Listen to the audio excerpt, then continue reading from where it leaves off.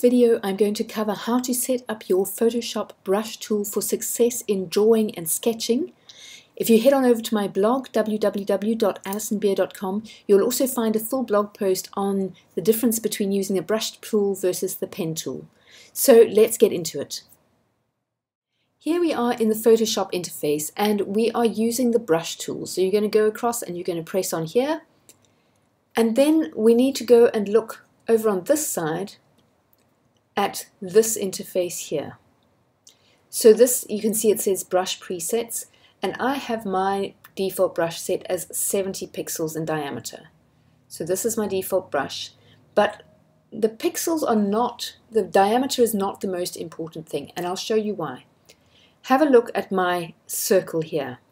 Now I'm going to tap away on my keyboard. You can see my circle's getting smaller. And here, the circle's getting bigger.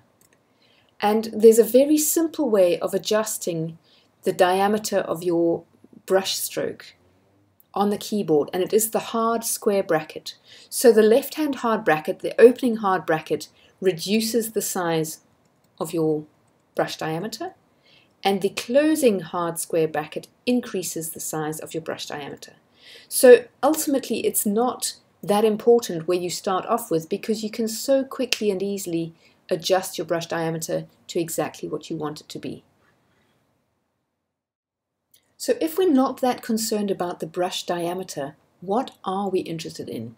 And I'll show you what's far more important to keep track of. And that is the line profile. So I'll show you why.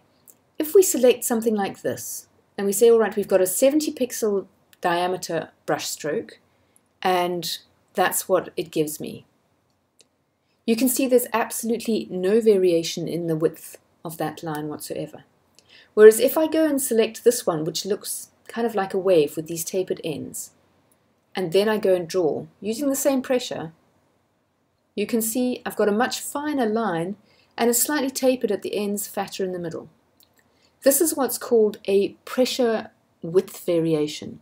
So the harder the pressure I put, the more my width variation broadens, shall we say, from very, very light pressure giving me a very, very fine line to deeper pressure giving me a wider line, and then the most pressure giving me the widest possible line, coming close to that 70 pixel diameter. So why is it important to have this line variation, this width variation from pressure? It's simply because it's a more natural way to draw. So if you think about drawing with pencil and paper, if you draw very lightly with your pencil, you're going to get a thinner, finer line. Whereas if you draw more strongly, if you press down harder, you're going to get a darker, certainly, but also a wider line. Obviously, again, limited by how wide or how blunt, I guess, your pencil is. And that's exactly the sort of result that you want with your cartoons. If you look at this picture that I've just quickly drawn up here. You can see there's a fine line up here at the brow of this little lady and as I've gone to the, the corner around her nose it's wider. The corners of her mouth are narrower. This line here is very narrow and then widening as it goes down into her neck. And so you get this interesting dynamic from the changes in the width of the lines. You might be thinking, well, if I draw with pencil and paper, I also end up with uh, either a pale line or a dark line. And wouldn't I want that as well? And you have this thing here called opacity.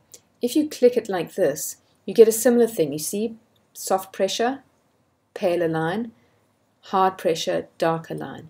But this isn't very helpful when you're doing outlines like this because as I vary the pressure, I get a more wishy-washy line and I've got to press really hard to get 100% opacity. So we're not so concerned with whether we get light and dark at this point. What we're concerned with is whether we get width variation. Do we get fine line to thicker line? That's what's very, very important. As a quick recap then, we've got two things that we're looking at when we set up our brush. The first is line diameter, which is not as important because we can vary it very easily up and down using the hard brackets on our keyboard. And the second thing is width variation. And width variation is vastly more important because width variation is what gives us the natural feeling when we draw. So if you're going to choose one over the other, or make sure that you choose the right thing, you want to choose width variation. And width variation is this wave-like form here on the right hand side. Did you like this video? If so, please give it a thumbs up on YouTube and subscribe to my channel there.